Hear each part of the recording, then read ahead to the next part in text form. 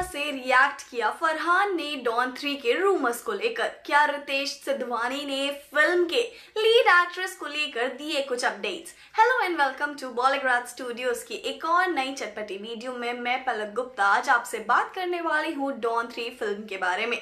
Don to की sequel को लेकर दिन ब दिन बहुत सी खबरें आ रही हैं सामने और डॉन फ्रेंचाइजी एक मेडिना फ्रेंचाइजी है सेंटर्ड डॉन जिसमें फिक्शनल सीरीज़ है जो कि बेस्ड है इंडियन वर्ल्ड अंडरवर्ल्ड बॉस पर।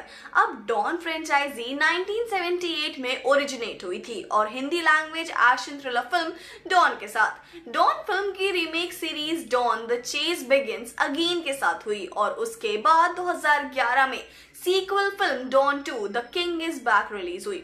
डॉन और डॉन टू के सुपरहिट होने के बाद फ़िल्म पर कॉमिक्स और वीडियो गेम्स भी बनाए गए और 1978 में आई डॉन फ़िल्म की स्टोरी दी थी सलीम और जावेद अख्तर ने। डॉन फ़िल्म को डायरेक्ट किया था चंद्रा बारोट ने, जिसने अमिताभ बच्चन टिटुलर रोल में निभाए गए थे। अब रीमेक सीरीज़ का डायरेक्शन जावेद की ही बेटे अफरान अख्तर ने किया, जिसमें टिटुलर रोल में शाहरुख खान थे। अब Don film highest grossing Indian film franchise में एक से एक है। फरहान अख्तर ने एक इंटरव्यू के दौरान कहा था कि डॉन थ्री की स्क्रिप्टिंग शुरू हो चुकी है, लेकिन उनके पास फ़िल्म के प्लॉट के लिए अभी तक कुछ प्रॉपर आइडियाज़ नहीं आए हैं। आए दिन सोशल मीडिया पर डॉन थ्री को लेकर काफ़ी खबरें सामने आती हैं और फ़िल्म की कास्टिंग को लेकर स्क्रिप्टिंग को लेकर और बहुत सी जिसमें हमेशा क्वेश्चंस होते हैं फरहान अख्तर से और रोज भी इन सब ट्वीट से तंग आकर हो चुके हैं फरहान ने कहा कि अब जब डॉन थ्री की प्रॉपर स्क्रिप्टिंग कास्टिंग और प्लॉट रेडी हो जाएगा, तब वो ऑफिशियल अनाउंस कर देंगे। उन्हें अभी ऐसे परेशान करने की बिल्कुल ज़रूरत नहीं है।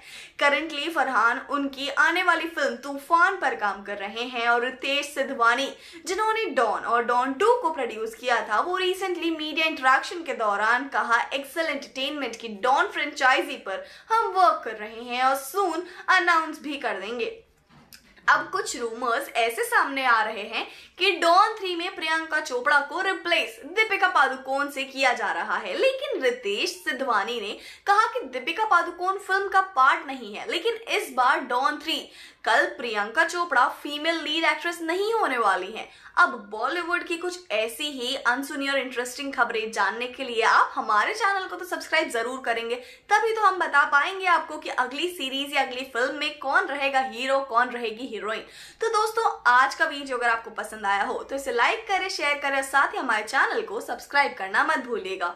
इस वीडियो की स्क्रिप्ट को रुशाली ने लिखा है।